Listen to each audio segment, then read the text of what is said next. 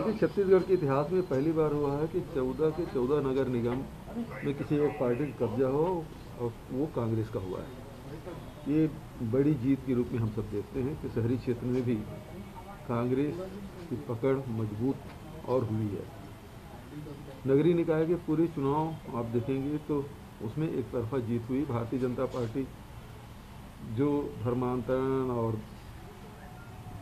सांप्रदायिकता के जहर घोलने का प्रयास किया, उसे छत्तीसगढ़ की जनता ने बुरी तरह से नकार दिया है। अब उनके पास कोई हथियार बचा नहीं। आज तीन नगर निगम, रिसाली, भिलाई और भिलाई चरौदा के नगर निगमों के महापौर सभापति के पदभार ग्रहण में प्रभारी मंत्री जी और वहाँ के स्थानीय विधायक हमारे गृह मंत्री जी साथ में रहेंगे। गुरुरूप कुमार जी वहाँ शामिल हो जाएँगे। तो आज पदभार ग्रहण का कार्यक्रम है जिसमें हम लोग सम्मिलित होने जा रहे हैं। सर कोरोना की रफ्तार भी सात जिलों में बहुत तेज़ी से बढ़ रही है।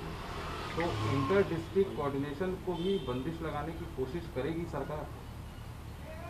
देखिए ये जो परिस्थिति है उसे सब नज़र रखे हुए हैं। देश में जिस प्रकार के हालात हैं और प्रदेश के जिस प्रकार के हालात हैं सबको अध्ययन करते हुए कोई फैसला लेंगे। अभी मैं नहीं समझता कि आर्थिक गतिविधि को रोक लगाने की आवश्यकता है या किसी प्रकार से कंटेनमेंट जोन घोषित करने की आवश्यकता है, जो आवश्यक कदम है, उठाए जा रहे हैं। खासकर जो स्कूल है और जो सार्वजनिक जगहों में जो भीड़ भाड़ है, उसे हम लोग रोकें। सर, ये पंजाब में जो सुरक्षा चूक हुई है, उसको लेकर भाजपा के तमाम बड़े नेता महामृत्युंजय जाप कर रहे हैं। और सुरक्षा चूक की जाँच होनी चाहिए तो ये पूजा पाठ हो रहा है। कैसे देखते हैं?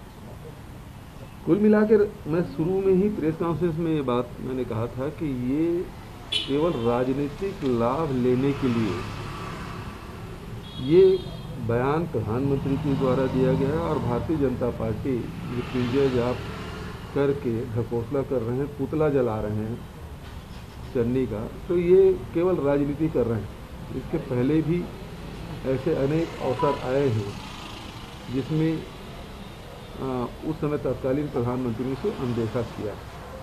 चाहे मनमोहन सिंह जी को काला झंडा दिखाने की बात हो, चाहे वो राजीव जी के एक श्रद्धांजलि सभा में फायरिंग की बात हो, ये सब बातें हुई है, तब भी उन्होंने इसको तूल नहीं दिया था। राजनीतिक लाभ के लिए कोई बयान नहीं दिया गया था। यहाँ तो केवल आप गए रूट बदल के गए और उसके बाद 140 किलोमीटर आज तक कि कभी मोदी जी बाई रोड गए नहीं हैं तो के गए। सबसे बड़ी बात ये थी कि पंजाब में भारतीय जनता पार्टी का अस्तित्व पहले भी बहुत सीमित दायरे में था। दूसरी बात यह है कि प्रधानमंत्री जी गए, वहाँ सत्तर हज़ार कुर्सियाँ लगी थी, सात सौ लोग नहीं थे। बड़ी बात यह है, आखिर सत्तर हज़ार कुर्सियों को संबोधित करने प्रधानमंत्री कैसे जाते हैं?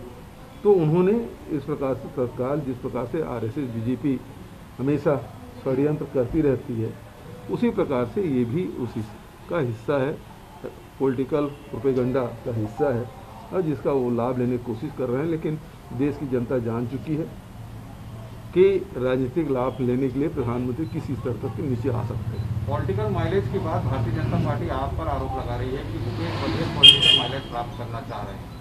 मेरा क्या पॉलिटिकल माइलेज छत्तीसगढ़ की जनता हमको आशीर्वाद दे रही है? अभी नगरीय निकाय चुनाव में हम एक तरफा जीते हैं तो हमको पॉलिटिकल माइलेज लेने की क्या ज़रूरत है? क्या माना जाए कि देश में प्रधानमंत्री असुरक्षित मान रहे हैं अपने आप को और उनके हाथ में देश दिया गया इसे किस रूप में देखेंगे आप क्या भारत में भी असुरक्षित महसूस कर रहे हैं अपने आप बहुत बढ़िया सवाल आपने किया उसके लिए मैं धन्यवाद देता हूँ कि भारत के प्रधानमंत्री को अपनी सुरक्षा एजेंसियों पे विश्वास नहीं रहा।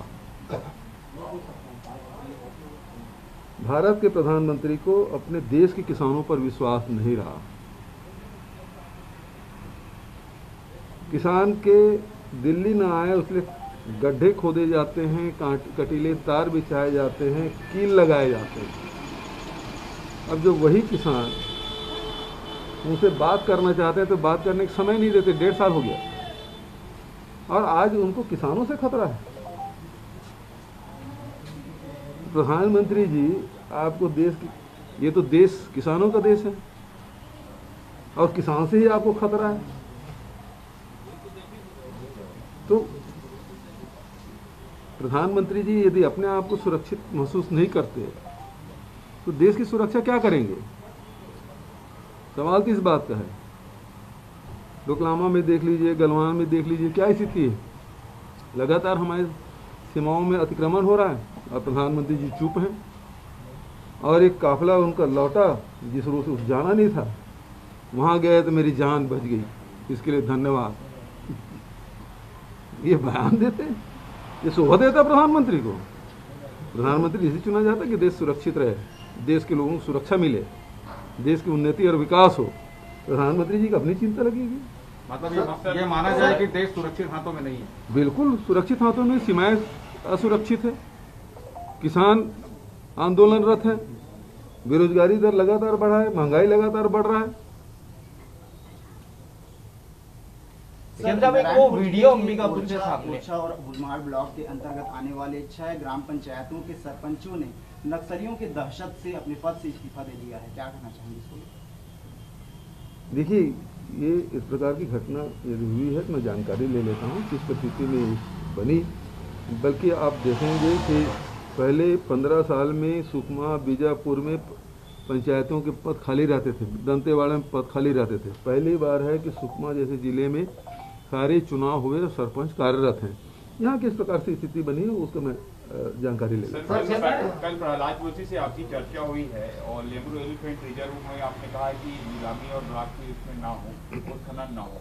उन्होंने क्या अपनी ओर से, क्योंकि इस मामले को लेकर काफ़ी राजनीति हुई है, उस पर उनका क्या रिएक्शन था देखिए, जो वहाँ के लेबरू एलिफेंट कॉरिडोर में हम लोग उनतालीस खदान उसके सीमा में आ गए हैं, सीमा भीतर आ गए हैं तो वहाँ उत्खनन करने का सवाल ही नहीं उठता।